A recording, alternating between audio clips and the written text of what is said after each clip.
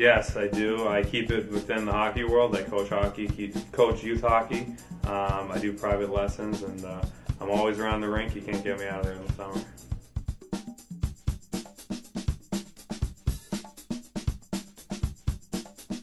Uh, I've been playing hockey since uh, I can pretty much remember. Uh, my dad put me on skates when I was about three years old. So it's always been a dream of mine to play pro hockey, and uh, you know it's always been a big part of my life. Um, I didn't think it was re- going to be a reality until about college when uh, you know I got to that level and realized that uh, I could possibly play at a professional level. I'd have to say fishing. Um, you know, uh, the beach is pretty good, so um, you know after practice we'll go out there and you know throw some lines in the water and see if we can catch some dinner.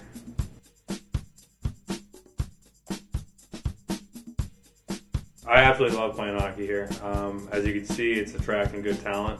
Uh, you go home and you, you, tell your buddies about playing here, and you know they kind of check it out, and everyone wants to come down and play here. So playing in Florida, it's a huge bonus. You know, you skip the winter up north, and uh, you know it's a great hockey town here. The fans love it. They, uh, they give us great support. So overall, Pensacola, it's a, it's a great hockey town, and its reputation is well known up north also.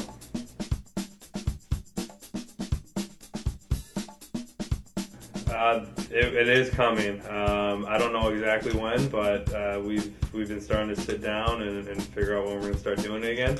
So if any fans have any ideas for any episodes, uh, just let us know. We'll try to get it in this year.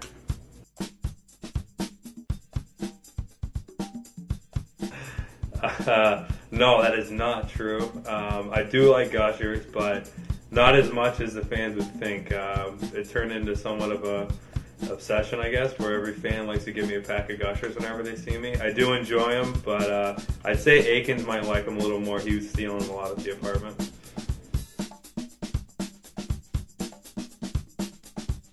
Uh, I go with uh, I go sherbet and then I put gummy bears on top of it. I had it last night actually.